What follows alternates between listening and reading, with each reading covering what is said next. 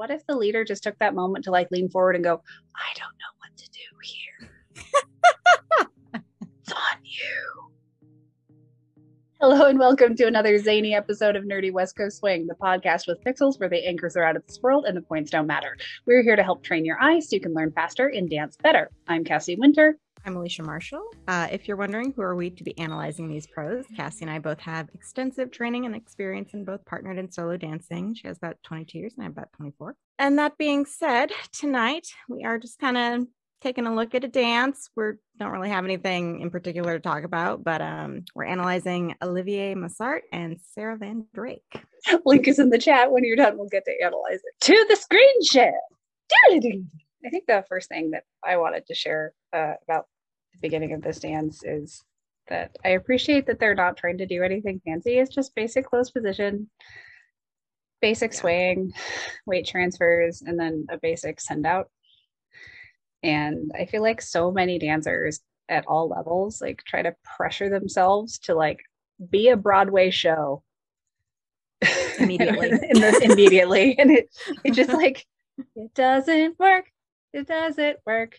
And like there are so many different reasons why keeping it small is helpful. A, you're actually connecting with your partner. Yeah. it's really important. And B, like you need to have somewhere to go so you can actually escalate your dance throughout the duration of the song. So mm-hmm. uh, and then as just like a little highlight, I really love how Olivier is holding um, her right hand in front of his chest that way because mm-hmm. that's just such a, a comfortable way to um, connect in like that chest to chest closed position instead of like the leader having it comfortable for them and then the follow's right shoulder is like kill me now. So the thing that i wanted to mention about this kind of whole dance um in general is how smoothly it flows together. It really nice. A lot of it has to do with what Sarah's doing. Um, mm-hmm. because Sarah isn't trying to force any musicality. Um, she's allowing that to happen when she has an appropriate moment to do that. And it's not like she's not trying to hit every single thing all the time. Mm-hmm. And there's actually a very specific point later in this dance that I'll point out um, that she like very obviously doesn't do something. Um, but I just wanted mm-hmm. to mention that in general. It's very, it's a really enjoyable dance to watch. Yeah, and it it matches the the tone and the energy of the song mm-hmm. appropriately. Yeah. Um, I know we've been watching some recent comp videos from various events, and it's so common, unfortunately, to see a spotlight Jack and Jill that is either too much energy for the song. It's rarely too little energy, but that does, yeah. that can happen. But more often than not, it's simply just too much energy. Mm-hmm. And um, then what can, as a domino effect, what can result from that is you you rush your timing. Being chill is the way to go. Yeah, I don't know why I gestured that way, but. Can you go back a little bit? I wanted to yeah. point out the connection that he had. We come out of this into like a really lovely moment where they're both facing the audience. And I wanted to mention, even though they are so close together, he's still doing what he should do in terms of connection. He's still catching her fairly early and then giving her some resistance as she settles. Um, it's not with the hand like it might usually be, it's mm-hmm. with kind of like the upper forearm ish area. Yeah, it's like perfectly into the hook of his elbow because mm-hmm. of their size relationship. Yeah. Her ribs are just going into his elbow pocket. Yeah. And that's an important detail to mm-hmm. think about for these kind of height relationships when the leader is significantly taller than the follow. Um, and significantly can just be literally just a head taller because it really can affect hip catches that much uh, to aim for the ribs with either your forearm or your bicep can be so much more comfortable and easy to accomplish than it is to really bend over, come into the follow space, and try to get your hand around their hip. Mm-hmm. And then I like that he makes sure to not leave her hanging there to go back in that same direction that they initially settled in. I mm-hmm. feel like frequently I see leads kind of will just lead you one way and then kind of not do another if you don't already have that extra hand connection. Yeah, there will be ambiguity about what happens next. Yeah. so and then, like kind of stand there. and then like the best thing to do as a follow is just to make sure you're continuing to shift weight. Because if you're stopped split weight, the leader can't lead you anywhere anyways they would have to like somehow get you over one foot so that way your other foot would be free. So as a follow as long as you're kind of consistently changing weight from one foot to the other. So one foot is available alternating. Yeah. um, that makes it a lot easier to lead. But as leaders you need to be really clear about what you want. Mm-hmm. and even if yeah. you want the follow to stay there you need to be clear about it. Yep. Otherwise the follow will come up with something to do. They Generally, yes. oh god. I for some reason my brain was just like what if the leader just took that moment to like lean forward and go i don't know what to do here. It's on you. Then lean back. Anyways.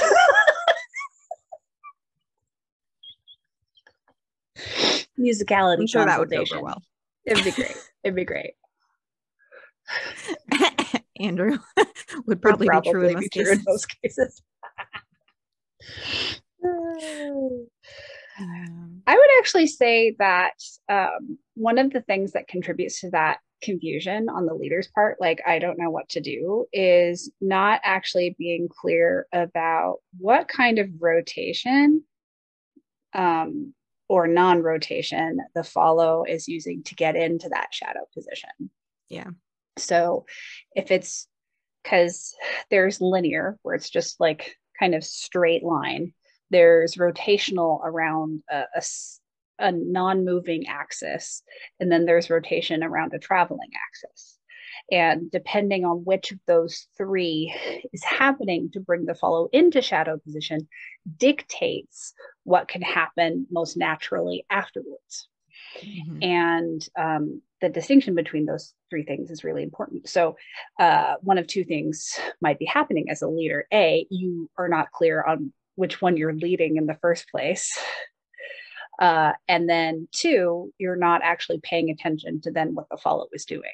Because remember, like you lead pattern A, but the follow will probably do some variation of pattern A, and therefore it's pattern B. You need to then lead from pattern B not from what you hoped it would be pattern mm. A. So um, those are two like really important things to keep in mind. Yeah. I really appreciate that Sarah doesn't like try to style anything here while mm-hmm. they're trying to figure out where they're both going. Yeah. And I also appreciate how he is not rushing to reconnect. Mm-hmm. He, he's just they're both being super chill about it and it ends up feeling really natural. Yeah. Um, this is one of those things where if you were to like rush, it, it would tell us, the audience, that you did something wrong. Yeah. Even though you technically didn't, but that anxiety about it and letting yeah. that anxiety come through your dancing, that mm-hmm. tells us that you think you did something wrong, which means we're going to think you did something wrong. Yeah. but if you're just, you're just relaxed through it it, it's fine. Like being it, it, not touching your partner for a few counts is fine. Mm-hmm. Yeah. yep. And on that note that you just said, a lot of champions like have moments where things don't quite go as planned, but you wouldn't really notice that because they they make you think that's what they meant to do. yep. Yep. And that's that performance confidence. Mm-hmm.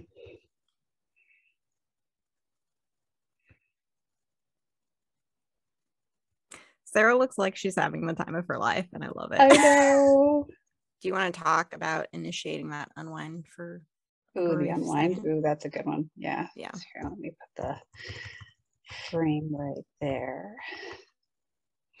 So actually, the first thing I want to highlight is how, um, and this is actually something we are talking about on one of our upcoming Patreons, and and the Patreon videos are starting to appear. Yes, I've seen them in the yeah. YouTube studio. Are they in yeah, Patreon most now of too? them are there. Um, but we we did a, a, critique for one of our upcoming Patreon videos um, where the leader did a pattern similar to this, but instead of stopping the follow, helps if I have the pen oriented correctly in my hand.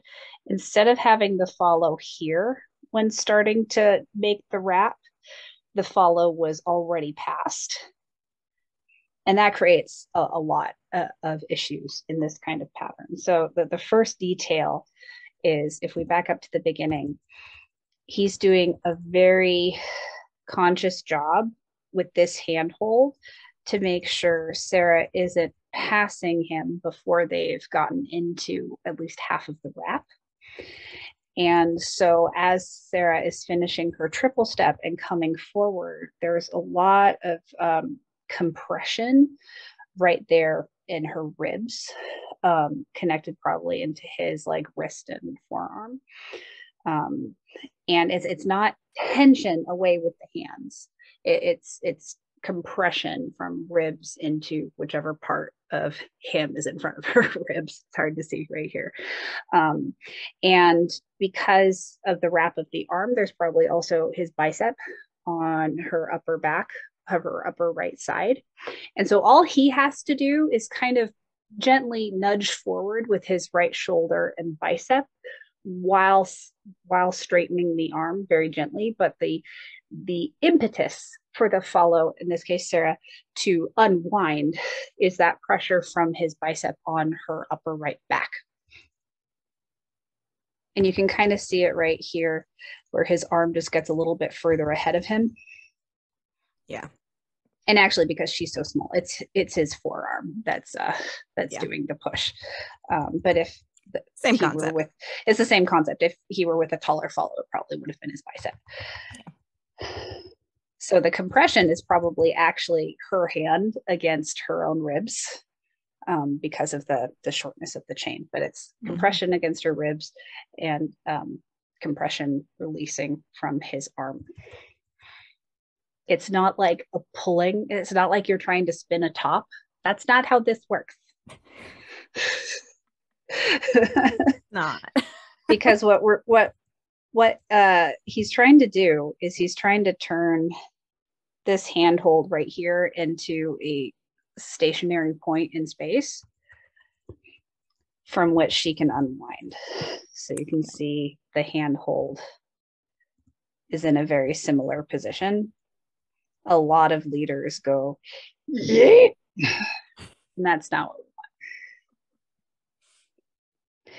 Was that uh, the depth that you were looking for, Alicia? Yes, it was. Thanks. Cool. Sweet. You're welcome. It's a good point. My brain is definitely kind of fried, so I appreciate the prompting. yeah. Because I know I know things. Yeah. But remembering I know things is where I'm faltering right now. Such a weird problem to have. I know. It's oddly specific, but I know you can relate to it. So. Yeah. I think one important thing to note here is that Sarah doesn't go anywhere once she is planted and behind his back. Mm-hmm. And only once he's kind of starting to open up to her, she then starts moving. But she just kind of plants and let him like move past mm-hmm. and just wait to and, see what he's gonna finish doing and he's doing a really good job with his uh, right hand of keeping her encouraging her to remain stationary mm-hmm. she's only having um, to extend her arm to like the limit of her ability not beyond that yeah um, like so much so she's comfortable enough that she can even like be down into her knees a little bit. She's not like up on her toes reaching yeah. forward. He's making it really comfortable for her. And then when he notices he's basically at the end of her rope he lets go of that handhold. And then that's her job to reconnect. Yeah. It's a good satisfying musical moment. It is. And if i had like any critique of this dance, um, I was disappointed that after this moment, there's kind of like a call and response nature to this part of the song. right? Um, mm-hmm. Um, and Sarah clearly wants to continue with the response element, but he kind of just comes out of it really quickly, um, which, in my opinion, is an unfortunate choice. And then we have again that like where your back is to your partner. Mm-hmm. Don't do anything abnormal. right. And this is one of those instances where he is making it really clear that it's mm-hmm. a stopping moment. Yeah. With this hand, he's really cushioning her um, yeah. as she settles over this foot. Mm-hmm. And that indicates to her that she can hang out yeah. and just wait. So that's yeah, different I, from the shifting side to side thing we were talking about earlier. Mm-hmm. Yeah. And I think that um, sometimes what happens is like a follow will kind of get this stopping signal, like he's doing for Sarah. But then after that, once they have stopped, then they will start again before we know what's happening really. Um, and it just it makes things confusing is what it happens right. like yeah and something that might compound that is uh, leaders need to learn how to cushion a stop so it's not just right. a sudden like ricochet moment because yeah. if, if it's sudden out of nowhere and not cushioned the follow might literally rebound out of it um, mm-hmm. um, but if you cushion it and you also um, help by making the stop just like inside that foot so her center is actually not getting over this foot um, mm-hmm. um, it it kind of puts her in more of a split weight position for this stop which encourages the stop even further uh, than if he were to have let her hip get over further so she would be settled on that foot and then yeah. ready to go I also think it's important that he gets back in her line of sight pretty quickly mm-hmm. because he's not really um, connected to her. Mm-hmm. I think this is a really nice um, styling choice, but also nice moment for Sarah to have. Um, mm-hmm. I think it's appropriate for the song. I think it's appropriate for the lead. And then he lets her take her time like he's not rushing her out of it yeah and something that i'm now starting to realize about this dance is it's really balanced like he he's making sure that they're taking turns having their own individual moments and then they're sharing larger musical moments like phrase changes that kind mm-hmm. of stuff um, so neither one of them is dominating the dance it, yeah. it's balanced musically and is partnered really mm-hmm. well um, not just connection, but musically. So this is the moment that I was talking about earlier um, for the musicality aspect of it. Um, there is a break that happens here, um, and then the start of a new phrase, basically. So, what doesn't happen is Sarah doesn't acknowledge the like three strong beats that happen there. Mm-hmm. She just continues with these illusion uh turns. yeah. Broken wrist turns, illusion turns. I like how I got the first eh? half of it and I couldn't think of turns.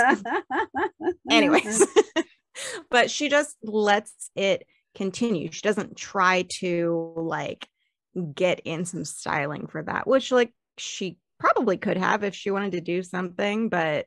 I I think that it is nice that she didn't. And then as a partnership, they acknowledged the start of the new phrase instead of the end. Mm-hmm. Yeah, because like it, it would have been nice to acknowledge those things, but she was in mm-hmm. a position where she would have had to done like a lot of extra work to yeah. safely in a partnered way contribute that yeah. kind of musicality yeah. and um, when you have those moments and this is something i i try to tell myself all the time like if there are like three quick things one after the other you don't have to hit every single one of them yeah Like if you hit the first one or the last one, usually that's good. Yeah. so just as an aside.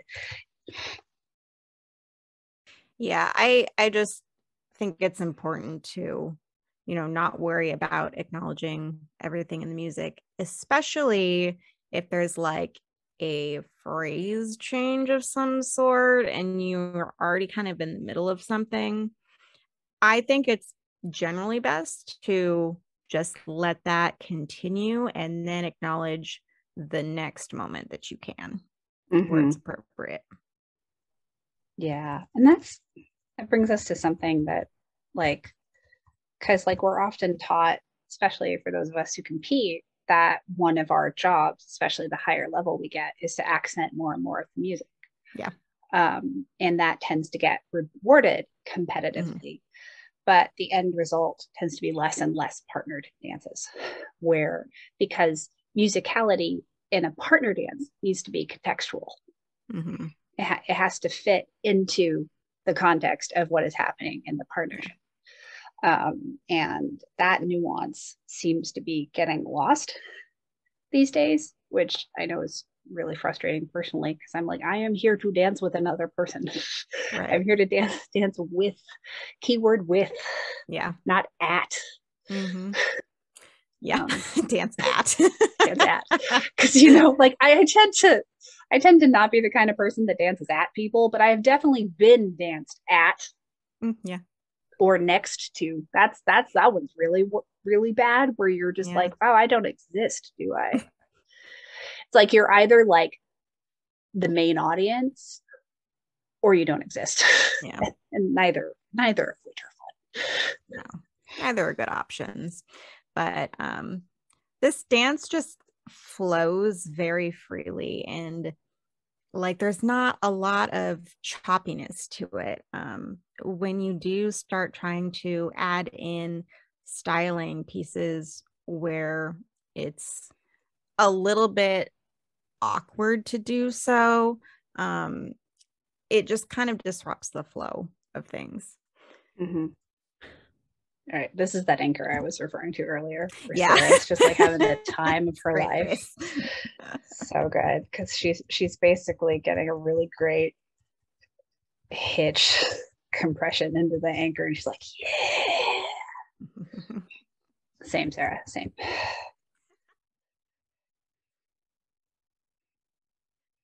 There's one thing that I want to mention because we watched um, a particular dance recently. Um, can you go back just a little bit to right after that anchor, like going into the compression? Yeah. Yeah. So, what I wanted to mention is if you look at Sarah, she's kind of looking at the ground, but she's paying attention to the connection. And then as she kind of looks up towards him, like because she's going for that left hand, you know she's going to rotate open that way, but she doesn't do it it like right away and she's making sure that she sees where his hand is before she's connecting to it and then mm-hmm. rotating. Yep. And like that's not directly looking at it, but you know, kind of like peripheral vision. Yeah. Like is important. yeah. Just because I can uh, I just want to highlight. So this this tends to be a leader's muscle memory for this kind of side shaped sugar push vibe, which I love as a pattern. But like, if your follow is a head taller than you, they they can't they can't reach that. and they're already tipping over before there's even any compression. So just, yeah. you know, just ends up in like locked arm position. Just side note.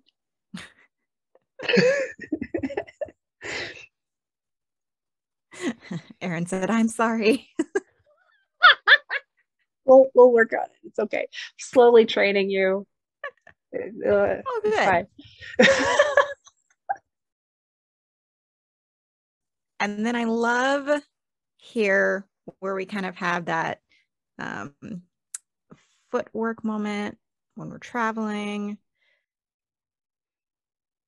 yeah, it's really organic. Like mm-hmm. it's coming from a really strong swing and shag base mm-hmm. and it's very connected and that's what allows it to be organic yeah. like the connection doesn't get focused on enough in those kind of patterns if you ask me like yeah yeah i agree um and there's like the two components to that in particular is a like good connection um strong leading but then also from the follows side of things like making sure you have eyes on what's going on and trying to mm-hmm. mirror mm-hmm. that's what makes these things work andrew yeah. said or in general or in general uh, and then another thing that's really helpful in these kind of patterns is making sure there is like space between you two um, yeah. so that way there is room for both of your feet to go in between the partnership yeah.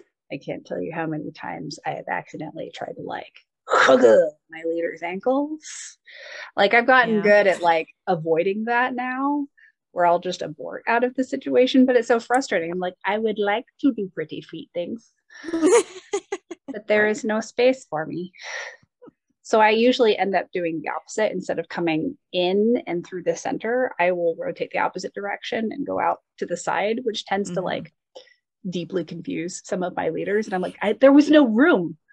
Did you want me to kick your foot?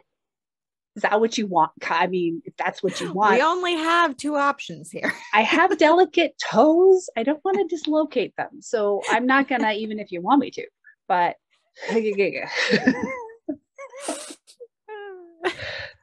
Sarah just looks so pleased. It's great. I know, right? So once again, he's doing one of those wraps and he's mm-hmm. making sure that the wrap is beginning to the, his right instead of in front of him or to his left. Yeah. There's just nowhere to go if you do it when you're already more. Yeah, because as a leader, you get overextended. You tend to like fall forward off the edge of your toes, and then you have no strength from which to lead the follow out. Mm-hmm. Ooh, I think I want to talk about the follow through of that right hand right there. Sounds good. so, because he's leading by uh, kind of like popping his arm forward, so applying compression to the back of her ribs to lead her out of that wrap. So, because she has already been led forward with rotation, the handhold is an accessory at that point. It's it's it follows through. A lot of leaders will do the the, the yoink, and then if they want to go up, it's continuing to pull through that motion. Um, whereas here, um, basically he is following through with what her hand is already doing and then when it gets more in between them and she can like see him he starts gently lifting it up mm-hmm.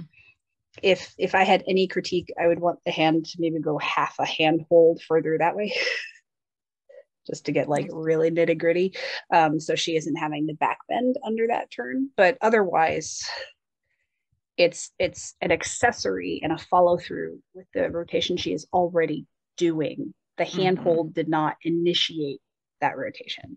Yeah all right and, and then here here's the moment if if we watch kyle in the back alicia pointed this out kyle needs to work on his fingers because he just he just does hustle arms wait for it wait for it wait for it bam so good. so delightful. I love how he's just like laughing to himself about it. like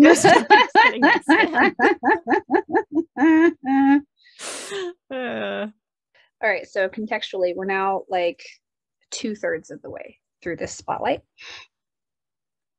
And so you can already tell, like, I'm not framing through it any faster, but more is happening. So they are escalating what they're doing. There, there's yeah. more energy, um, more complexity. Um, but what I appreciate is it's not uh, him running her up and down the slot. Yeah. He, he's adding that energy and complexity through more um, training places or closed mm-hmm. position patterns, which are significantly a more manageable um, for both partners. So It's a lot easier on the follow, but it matches the tone of the song because this is a much lower energy song. So the higher, the high energy part of your dance to a low energy song still has to be appropriate energy wise for the music. Yeah. Look at all this space she had for her foot. Look at that. Look at that. Look at that.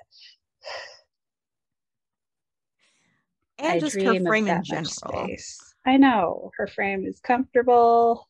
She's pitching forward because like there's connection for her to do that. Mm-hmm. And, and she is at zero risk of hurting herself or him. Yeah. I just wanted to take a look at what his arm does because he's in kind of a rotated open position almost. Mm-hmm. Yeah, you can see how like the handhold is giving her a boring old push break mm-hmm. while his body is doing something different. Yeah. So he is not torquing her hand inward mm-hmm. while he's mm-hmm. doing that rotation. Yeah. His elbow's kind of going back behind him. Yeah. It's important because even though he's doing something different, he's keeping it the same for her. Yeah. Like a lot of the times we do want to communicate through the handhold what our body is yeah. doing, but with the caveat that we don't want to break someone's frame in order to communicate that. Mm-hmm. Yeah. And he does a good job of kind of putting himself in the awkward position, mm-hmm. which is the leader's job. Yeah. Because as I've said multiple times, the leader knows what's going to happen next. yeah. Or at least that's the hope, right? It's true. I also really like the styling choice from Sarah. It's just like a nice crossover mm-hmm. and back. Really, really simple mm-hmm. and lovely. And then I love how he does his own version of it into the anchor. Mm-hmm. Look, he comes to her. Because this is a very like signature Sarah hanging yeah. back um, kind of anchor and very delayed weight transfer. And mm-hmm. so it's if you're paying attention as a leader, it's really easy to see if and when your follow is doing something like that to know, yeah. oh, I should come towards them. I yeah. should not yeet them at me from that position. it won't end well. With great power to yeet comes great responsibility. Yeah. I am so sorry. but true. I want to mention what Sarah's doing um, with the hand that she does not have connected up above her head. Yeah, her left hand. Mm-hmm. Mm-hmm.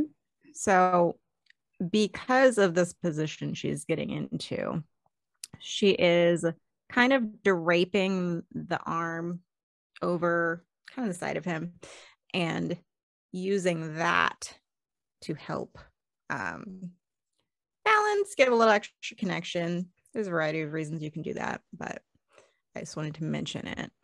It's just not fair. I would like judo chop the leader's armpit. Either that or like really like bend over to get their hip. But hey.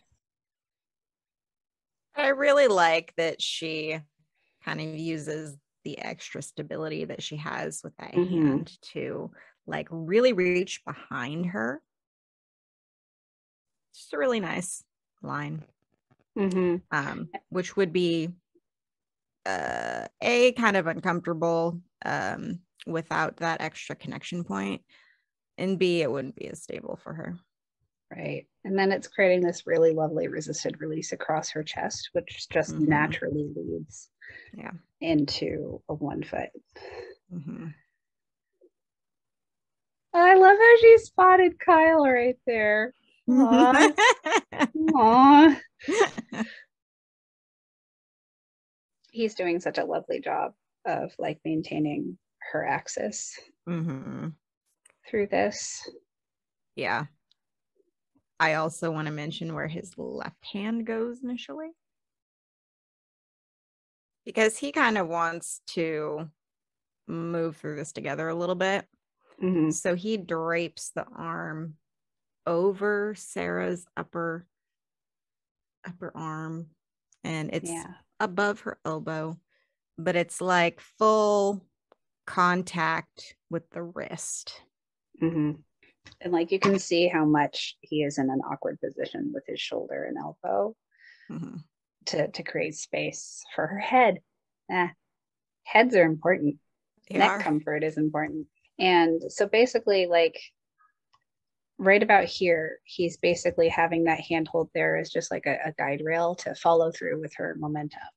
Mm-hmm. But when she starts coming around the corner here, it's probably resisting her left side closing. So there's some compression in this direction on her mm-hmm. arm to help add stability for her while yeah. this hand is guiding her right side open. Yeah. So that way there's a lot of stability. Mm-hmm. Both of his hands are facing towards him because mm-hmm. all of Sarah is wanting to move forward. And so he's slightly resisting that. Yeah. In both hands, not just one. Mm-hmm. If you have just one, it's going to be off. It's it's going to feel uncomfortable. yeah. I love her little like jumps. I know. And I feel like at this moment it's appropriate for her to add those in. Whereas, like earlier when they were doing those like illusion turns of sorts, uh, mm-hmm. she didn't add anything like that in. Um, yeah. But we're kind of getting more towards the end of the dance. So it's more appropriate to add something like that. Yeah, it would have been too much too soon earlier, yeah. especially for the lower energy of this song. Yeah. But now um, we're kind of getting yeah. to that end. Is just digging this song. I also love how both Thibaut and Nicole are just like recording. if nobody, if people aren't following uh, Thibaut and Nicole on Instagram, uh, uh, go forth and do the thing. Clicky, clicky. Because they're also uh, their dog Puff Cloud Mia at Puff Cloud Mia. Their, the dog has their own Instagram. Oh. And it is a delightful white floofy Pomeranian that only yeah. brings delight into your life. So also follow their dog.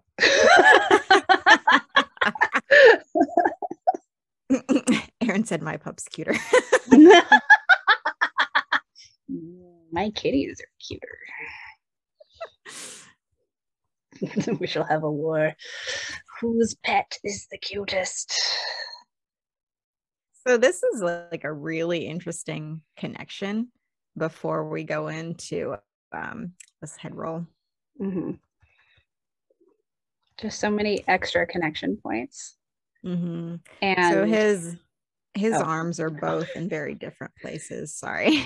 yeah, it's okay. I think we both stopped for the other person to talk and then nobody said anything yeah. It. Works well. Um, one of the nice things about having like lots of connection points as a leader especially like getting this handhold earlier is then you have more options.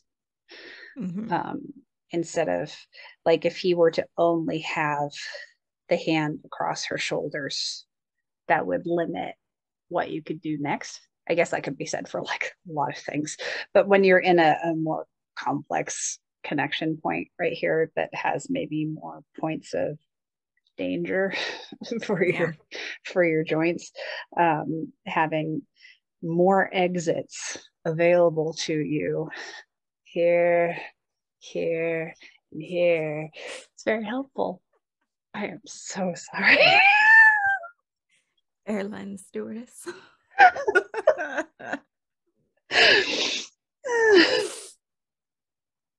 And then uh, just to highlight, and I know this is like partially the privilege of how tiny Sarah is, um, but he's lifting his elbow up and he is not pushing her shoulder down for this neck roll. Yeah. So we're like right up to the end now. So yep. there's more hopping, more playfulness. Yeah, I really enjoyed the way that they um, added some more energy to that just kind of compression. Oh my god, this hop of Olivier's reminds me of Andrew Slack so much all of a sudden. I love that towards the end of this, we're getting some more um, up and down movement as well. Um, mm-hmm. Whereas a lot of the beginning of the dance and middle was pretty, you know, flat, like there wasn't a lot really of level smooth. changing. Um, and then adding in more energy, like bringing in that element of, you know, up and down as well, that level change, it just kind of naturally adds more energy to it. Mm-hmm. And standing ovation, we have arrived at the end. Uh, Such a nice hug, hugs are the best. well, in uh, two weeks, we are doing uh, another just like analyze a dance, not with any particular topic in mind. And I think it's going to be Ben Morris and uh, Cameo McHenry. And then at the end of the month, uh, on the 27th of March at 1 p.m. Pacific, we're doing another uh, What Went Wrong workshop, which will be free for Patreon supporters, um, but only $10 a person for everybody else. Yeah, very looking forward to that. Hope to see you all there. And uh, barring my knee refusing to heal, we'll be at All Star Swing Jam. We will. Please knock on wood. Please pray for me. Pray for my knee because it is mad. yeah. It is impressively mad. yeah. Anyways, thank you for joining us. we will see you all next time. do you do this thing, Alicia, when you're watching just like a benign piece of media, like a TV show or a movie, and then like a partner dance moment happens and you like brace yourself, your whole body just like, yeah. You're like, oh God, what's it going to be this time? Yeah. I, I have come to just not censor myself. So last night, my partner and I were watching an episode of Deep Space Nine, like season six, and there was some waltz and I just just like ah. Yeah, it's it's it's more often painful. yeah. And then I try to do this so I can see everyone, and then I have the chat was up. Weird. was you're did like? You, did you see yourself for a second? Yes, it was like right under where mine was. so it was like me and like both slots. It was yeah. Weird. I was trying to snap my video window to my main monitor, but since the the the seam between the two monitors is right there, anyways, um, because of that, what? Sorry, there's like like a really long horn outside. Okay, and people like screaming. I don't know what's going okay. on. I saw your face, and I'm like, did I say something really bad? Okay, cool. I was just very alarmed. Ben Morris looks like he left the stove on. He has like that kind of face right now. But you you see it too, right? Yeah. Can I just say, I love the moment where Kyle is like over her shoulder and like mimicking the hand styling that she does. I didn't see that. he does like a full hustle point. I know. yeah.